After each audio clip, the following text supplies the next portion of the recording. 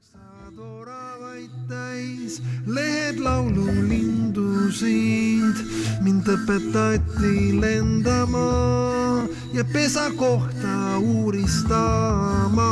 vastu tuult pikeerima ja hästi kõrgelt, hästi kõrgelt laulma